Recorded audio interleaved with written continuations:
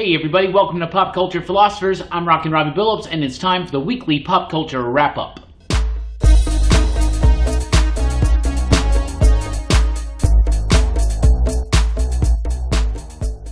That's right, everybody. Time for the weekly pop culture wrap up. It's the show where I go over the week's pop culture news, mostly comic books and movies. Let's get right into it with some comic book news. In September, we have the return of Wolverine. It's going to be a follow up to Hunt for Wolverine, a new miniseries by Charles Soule and Steve McNiven. They, of course, are the creative team that killed Wolverine few years ago, a couple years ago, whenever it was, in Death of Wolverine. So, um, I don't know. I'm not the most excited about this team. I haven't really liked the Death of Wolverine and the Hunt for Wolverine. All that stuff hasn't been impressing me that much. One interesting thing about the Return of Wolverine, though, is that he's got a new set of powers. It seems now that his claws are going to heat up. That seems unnecessary. I don't understand how that's actually going to be beneficial or a help to Logan, but I'm very excited that he's coming back again, finally, in full, and he's just going to be back. And then we're going to get a new Wolverine book. And he's in the, uh, the yellow and blue. And I think that's pretty cool. We got the creative team announced for Spider-Geddon this September. It's going to be Christos Gage and Jorge Molina. Um, I wasn't the biggest Spider-Verse fan, so this news doesn't excite me that much, but it doesn't turn me off. There is a silhouetted character on here. It's a Spider-Man that they've yet to reveal, I guess, or don't want us to know exactly who it is. But if you're a Spider-Man fan, like all the different types of Spider-Man and Spider-Women from across the multiverse, this is definitely going to be the story for you. In an interview with a podcast, Ralph Macchio, who used to edit over at Marvel Comics, revealed that Marvel is working on three Conan books right now, set in three different times uh, periods of the Conan story. So we know that Marvel's getting those rights back. They should start pretty much in January 2019. So no creative teams announced or nothing, but it seems like they're working on three books. That's kind of exciting. Um, Asgardians of the Galaxy is a new book by uh, Cullen Bunn and Matteo Lolli. Um, I don't know. It's got a weird team. You got Angela, Valkyrie, Scourge, Throg, which is the Thor frog, um, Destroyer, and the son of Thunderstrike. This is the son of Eric Masterson. So that's interesting. And I don't know. This it doesn't really excite me that much. These characters, this team, it just I don't I don't know. I'm actually surprised no one's ever thought of Asgardians of the Galaxy before, so that seems interesting. Also, Kick Ass has a new creative team as of issue number seven. It's going to be Steve Niles and Marcelo Frusin. Um, I like Frusin's artwork. I think it's a pretty capable artist. Um, Steve Niles has done some really good stuff, most notably 30 Days Night.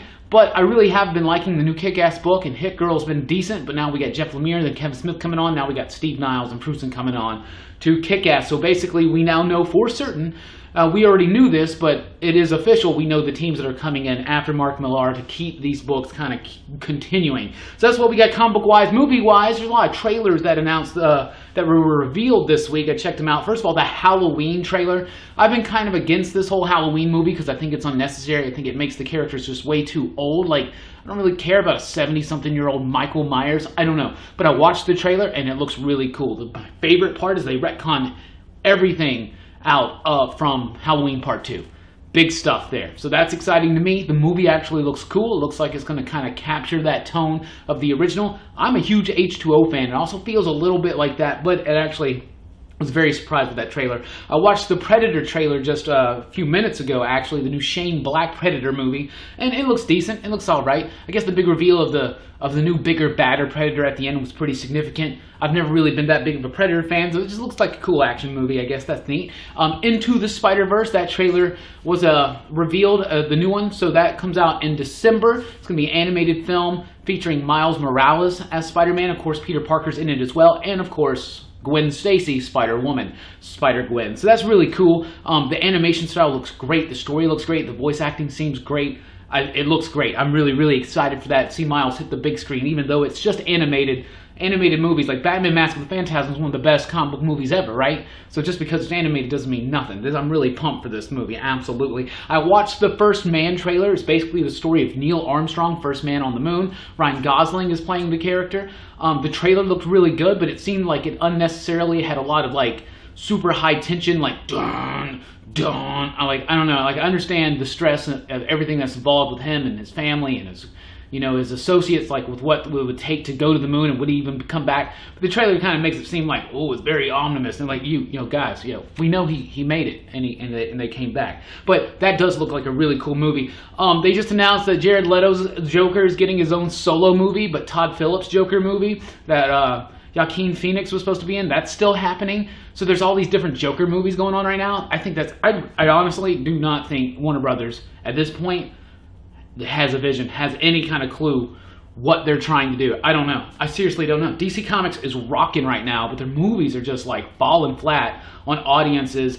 Even when they have a hit, it just feels kind of, I don't know, man. It just feels like there's a lack of cohesion and direction and vision at DC Films, and they really need to kind of figure that out because obviously Marvel's got that vision set. Um, so all these Joker movies seems really, really unnecessary. I don't, I don't even know what they should do. What do you think DC should do with their movies? I have no idea. Just start over completely again.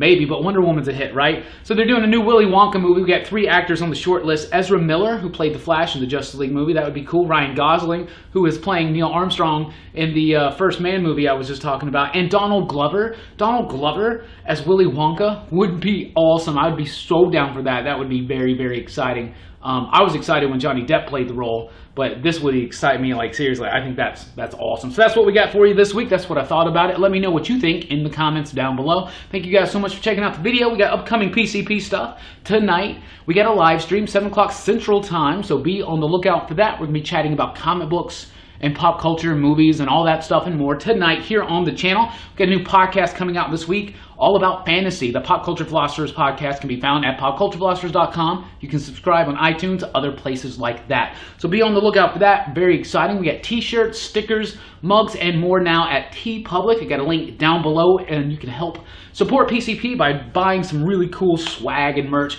We're also on patreon.com slash PCP, where you can help support the channel as well, get early access to certain videos, and get exclusive content, including newsletter and the PCP After Hours podcast. And don't forget, tomorrow's Monday. That means it's Movie Monday, and we're doing Spider Man Part 2 from Sam Raimi. So we're revisiting the Spider Man movie, all that and more up this week, including the comic book review and the next weekly pop culture wrap up and all that jazz. Thank you guys so much for supporting this channel, and please do like, share, and subscribe. Thanks for rocking with us, and keep on keeping on.